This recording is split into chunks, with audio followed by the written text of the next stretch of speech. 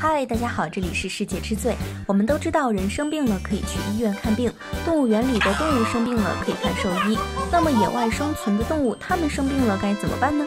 其实啊，它们与人类一样，也有自己的思想与想法。下面我们就来看看它们是怎么给自己治病的吧。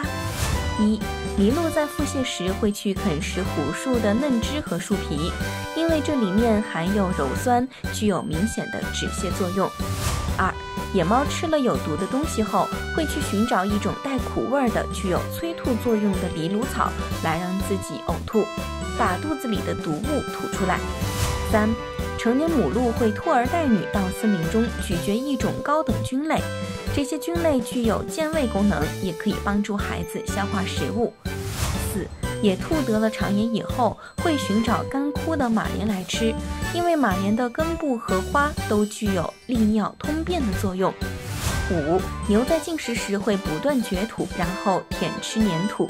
研究发现，粘土不仅能为牛补充一些身体缺少的矿物质，而且粘土上沾有的病菌还能引起腹泻，将牛肚子里的毒素和寄生虫排出体外。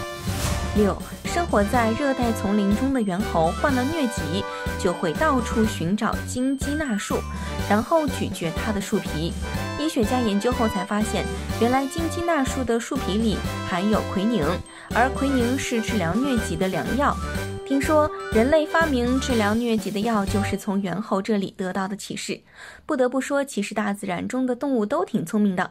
好啦，本期视频就到这里。如果喜欢视频的话，别忘了点赞、分享、关注哦。